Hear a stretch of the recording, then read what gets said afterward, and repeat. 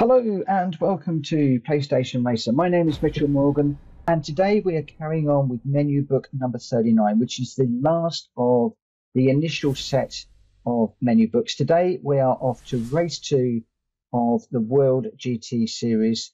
We're at the Spa racetrack, a racetrack that we know very well but that is also very taxing.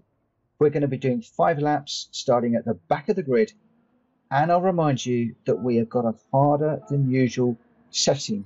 So we are going to need to really run because we've already dropped a good number of points at the last race. So I'm just double checking the settings on the car just to see if there is any additional performance that we can possibly get out of this car because we did struggle quite a fair bit in the last one and maybe I should have reset some of these uh, parameters to give us a little bit of an extra chance. It was a, a bit of a rookie error. I should have checked the car out before we run, uh, but we did make our life difficult for ourselves. So hopefully, by making those few changes, it might just give us a little bit more of an edge in this race. So let's get on with the race and see how we can do at this iconic Spa racetrack. Starting in 20th, the weather looks okay.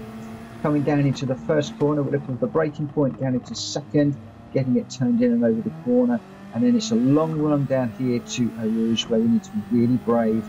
But we've also got to be minded of traffic. Now, I am narrating this one rather than uh, talking it through while I'm driving. Uh, these five races of this is the second of the five races.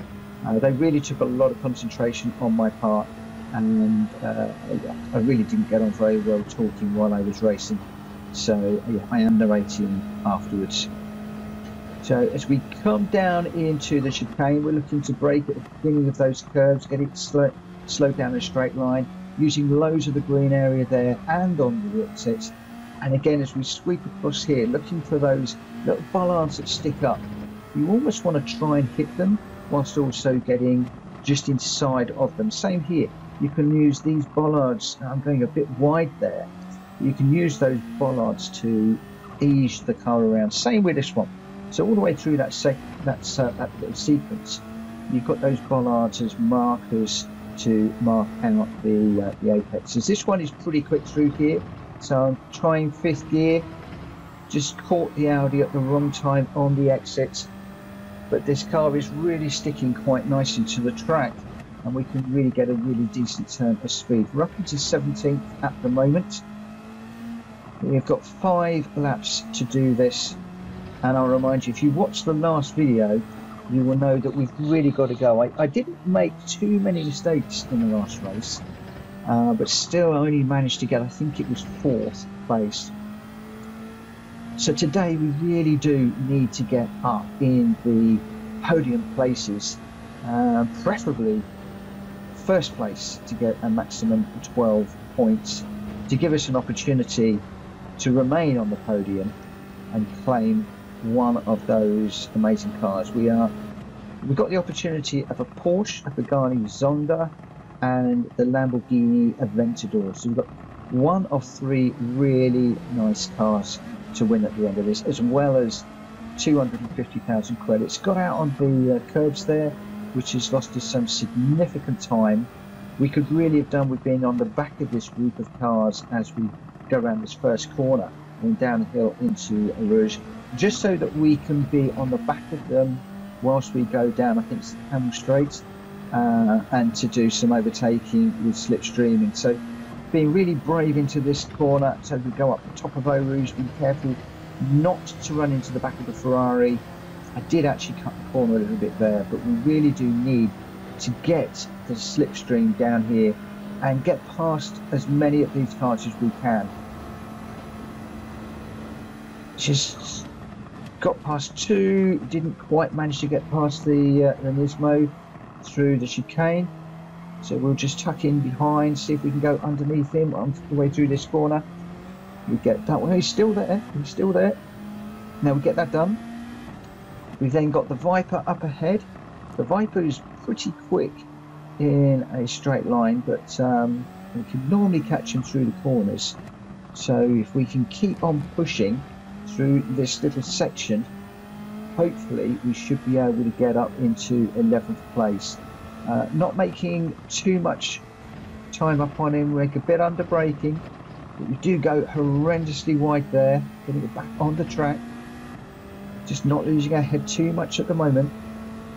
Looking for the braking point at the beginning of that curve, bury the brake pedal, then it turned in again. We've got Bollards to help us with these corners. We've got two cars together here now, the Viper and the Porsche. So we need to do both of these. So quick dive down inside the Viper for one, get it slowed down before the Porsche. Now we need to do the same thing for this Porsche.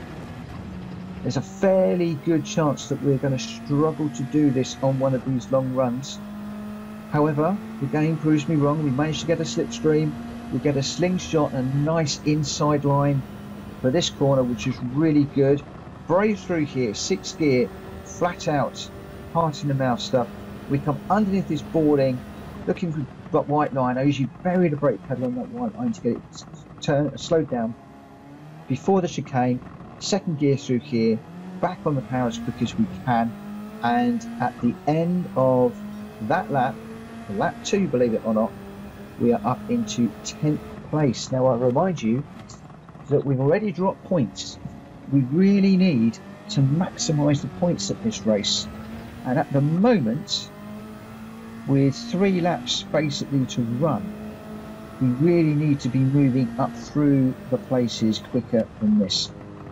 Looking at the little map in the top right hand corner, you can see that we've got a couple of cars here that we can get past, but there is a little group, possibly first and second, maybe first, second, and third, that are getting away and we are going to need to get through these cars quickly so that we can get on the back of the leaders. So braking hard into this first chicane, right, left over the curbs, leave it in third gear, over there, letting it drift out, up into fourth briefly, up into fifth, and we come back down to fourth, third, just get it slowed down, running a little bit close to the Supra, a possible love tap on the way through there.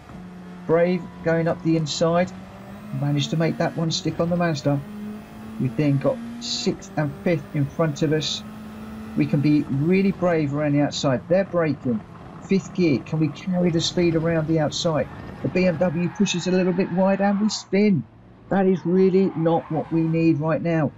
Managed to do a full 360. Got it facing the right direction. But that could that could cost us massive right now.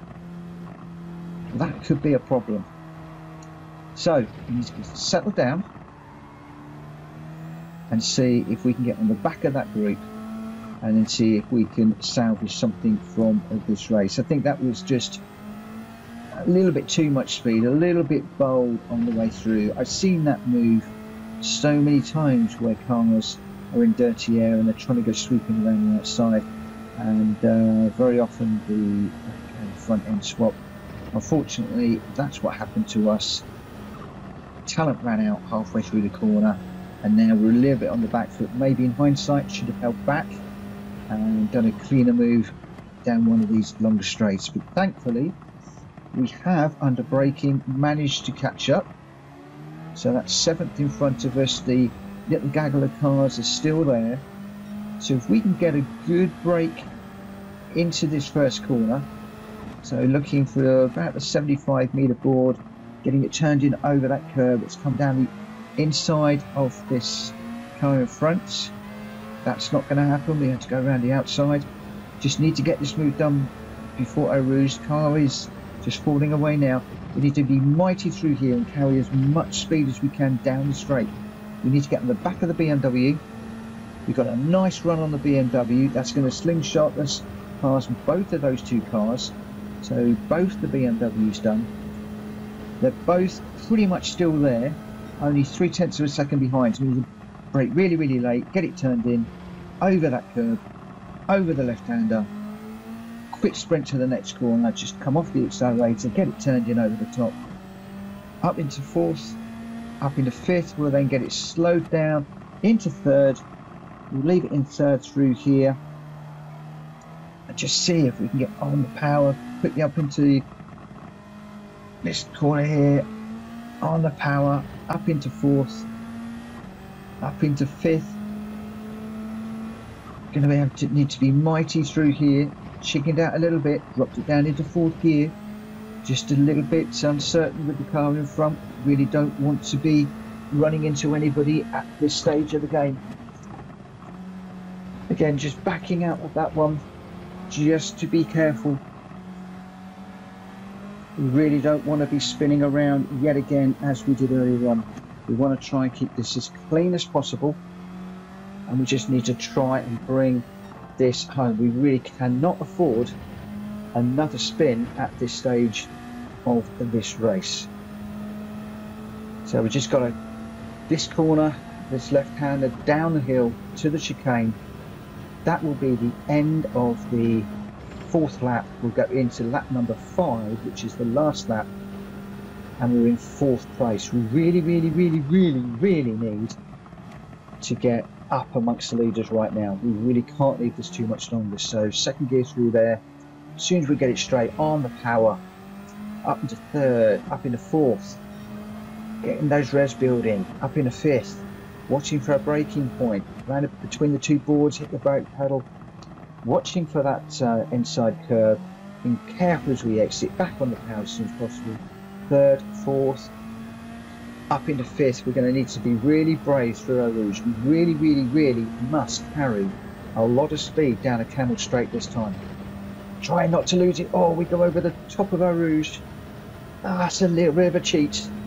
I did try and make the corner, but uh, I was just carrying a little bit too much speed through there. That is going to give us an opportunity down the straight. Did we get a penalty? It doesn't look like we did. It looks like we might have actually got away with that. I'm not necessarily happy about that move, but people do sometimes skip across the top where they take a route a little bit too quickly. So this is now game on. We've got third, second and first place all together in front of us second through here, up into third. Just watching these cars in front, being careful not to run into the back of them, thinking about where we're going to do the overtake. Can we do up the inside of this one?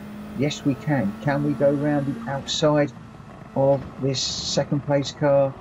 Being careful not to run too wide, we get it off the track, keep the power down. Slight advantage there, but we didn't really make too much of an advantage on the car in front these AI cars with the hard setting are not necessarily braking heavily in the middle of the corners, so it is enabling us to carry a lot of momentum through the corner, uh, but they do tend to brake quite early for the corner, earlier than I would do, but then they're carrying more speed through. So as we are coming into the closing stages of this lap, can we pull an audacious move on these two cars? Looks like the second place car is having a look at the first. We've got some great drive down here. Oh, just caught the uh, the Honda on the way through. That unsettled us really badly. Just managed to catch that right in the steering wheel. That has given the car in front an opportunity to get away from us. We're not going to catch him as we exit the uh, the chicane. Just working to keep the uh, car behind us, and that's going to give us second. We really needed first but at least we have got some decent points from this one, better than the last race. Very, very close to first. Ah, silver for that one. And annoyingly, the uh, Heisel has got two 12 pointers and we've got a 7 and a 10. So we are some significant points adrift of the leader at the moment. As we head into race number three, we are really going to have to have a race with no mistakes and try and maximize our points pool as we head into the World GT Series Race 3, which is going to be at Le Mans. This is my grinding track, a track that I know pretty well. Slipstreaming will be all important for us on this particular race, plus the technical section. It should be at Blinder. Please join us. Please hit the subscribe button if you haven't already subscribed and support the channel. Hit that bell button for notifications of that video coming very, very soon. In the meantime, thanks ever so much for watching and thank you to everybody that's subscribing to me. We just hit 200 subscribers today as I record this video or produce it. Massive thank you to everybody that's supporting me. In the meantime, bye for now.